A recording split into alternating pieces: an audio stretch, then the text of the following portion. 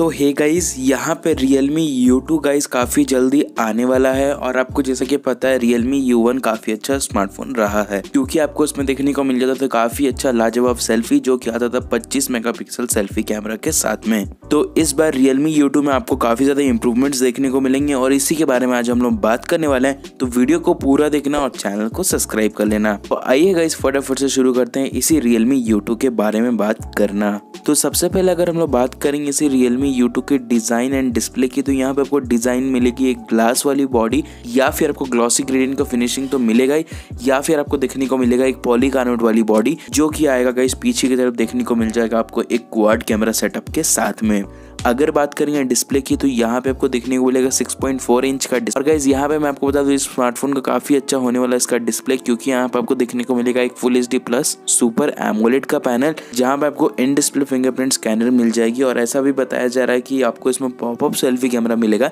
या फिर आपको देखने को मिलेगा एक डॉट नॉच या फिर आपको बोल सकते हो यहाँ पे आपको वाटर डॉप नॉच देखने को मिलेगा, जो कि आएगा guys nineteen is to nine वाले एस्पेक्ट रेशियो के साथ में। प्रोसेसर के बारे में बात करें तो यहाँ पे ऐसा बताया जाता है कि आपको इसमें कोई 700 सीरीज़ का कोई प्रोसेसर देखने को मिले। मे भी आपको देखने को मिले स्नैपड्रैगन 712 का प्रोसेसर गाइज़ जो कि काफ़ी अच्छा होने वाला है। या फिर आपको स्नैपड्रैगन 730 जी भी देखने को मिल सकता है, जो कि गेमिंग प्रोसेसर क्योंकि इस स्मार्टफ़ोन में आपको जैसा कि पता है रियलमी यू में भी काफ़ी अच्छा प्रोसेसर देखने को मिला था तो इसमें भी आपको स्ट्रॉन्ग प्रोसेसर ही देखने को मिलेगा। तो अगर बात करें इसके रैम वेरियंट्स के लिए तो गाइज़ ये फाइनली लॉन्च होगा गाइज़ चार जीबी और छह जीबी वाले रैम वेरियंट्स के अंदर। और इसमें आपको देखने को मिल जाएगा रियलमी का खुद का ओएस और आपको यहाँ पे देखने को मिलेगा एंड्रॉइड 10 का सपोर्ट अगर बात करेंगे फ़ोन के कैमरास के बारे में तो यहाँ पे आपको देखने को मिलेगा क्वाड कैमरा सेटअप जो कि आने वाला 64 मेगापिक्सल का मेन कैमरा के साथ में, जहाँ पे सैमसंग का जी डब्ल्यू वन का सेंसर मिल जाएगा और आपको यहाँ पे देखने को मिल जाएगा 8 मेगापिक्सल का ultra wide angle lens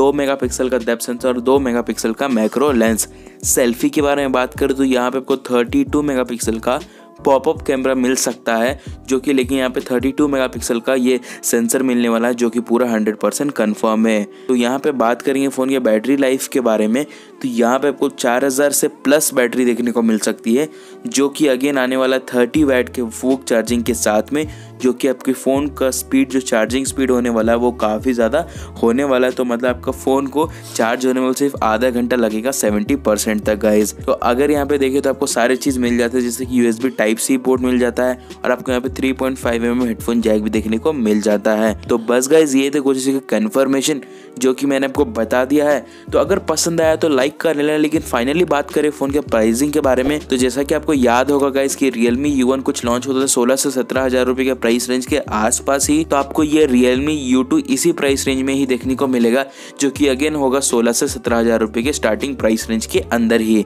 और बात ही रही यहाँ पे लॉन्च डेट की गाइज़ तो ऐसा तो कुछ कंफर्मेशन नहीं आया कि कब ये लॉन्च हो रहा है, लेकिन अकॉर्डिंग टू लेटेस्ट ऐसा बताया जा रहा है कि दिसंबर के महीने में लॉन्च होने वाला है। तो बस गाइज़ आज की इस वीडियो में बस इतना ही। अगर वीडियो पसंद आया तो लाइक करना और चैनल को सब्सक्राइब कर लेना। तो गाइज़ मिलता है हमारा नेक्स्ट वीडियो में, तब तक टेक केयर गुड बाय